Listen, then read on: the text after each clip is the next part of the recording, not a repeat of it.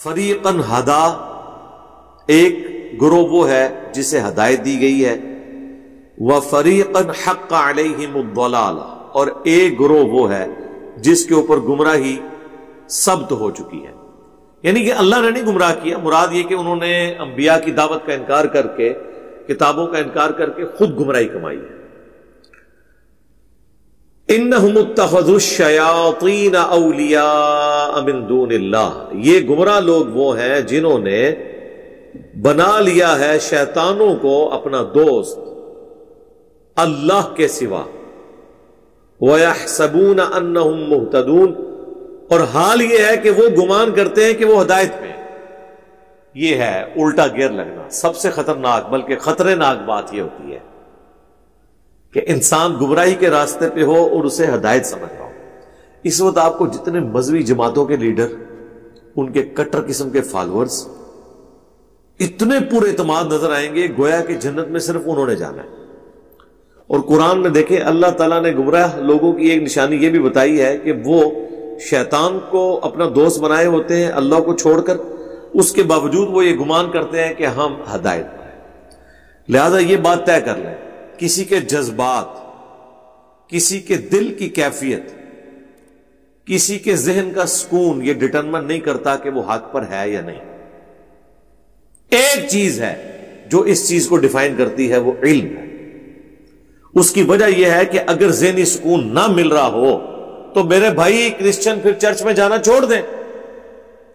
वो जब चर्च की घंटियाँ बजती है ना तो उन्हें एक रूहानी सुकून, वखरे जहाँ में वो भी दाखिल हो जाते हैं। वो होता शैतानी सुकून है, वो उसे रूहानियत समझते हैं। अगर यही चीज़ें होती तो गुरुद्वारे सारे उजड़ जाते, मंदिर सारे वीरान हो जाते। लेकिन आज भी लाखों लोग जा रहे हैं। और जनाब, हमारे हज के ऊपर तो मुश्किल पचास लाख बंदा जमा होता है ना, गंगा पे साढ़े तीन करोड़ हिंदू हर साल नहाने के लिए जाते हैं। जी, आज तो शाही कोई नहीं, तदाद लिहाज नाल, उनके मुकाबले तो उनको आखिर वहाँ कुछ मिल रहा है ना? सेंचुरी तो तेंदुलकर ने की हैं। किसी मस्जिद में जाने वाले ने इतना बड़ा वर्ल्ड रिकॉर्ड नहीं बनाया। एक मंदिर के पुजारी ने क्रिकेट में इतना बड़ा वर्ल्ड रिकॉर्ड बना दिया है। सुकून तो उसे भी मिला हुआ है वहाँ पे। और यही वो सुकून है जो हमारे मुसलमानों को मज़ारात के ऊपर ढोल की थाप पे नाचने से, वजद में जाने से आपदा परवीन के कलाम सुनने से नुसरत फतेह अली की कवाली से जो वक्रे जहाँ में वो दाखिल होते हैं, और वो कई लोगों को वो कहते हैं वजद आ गया। वो वजद नहीं प्योरली साइंटिफिक फिनमिना है, गुमक रेजोनेंस वो किसी चीज़ के ऊपर, वो जनाब माइकल जैक्सन जब गाने के लिए आता था तो अमेरिका में ट्रैफ़िक तो ब्लॉक उस वक्त भी हो जाती थी। आपके इज्तमात में इतने बंदे नहीं होते जितना उसके उस महफिल मौसीकी के अंदर लोग आते थे। वज तो उन पर भी तारी होता था। Purely scientific phenomena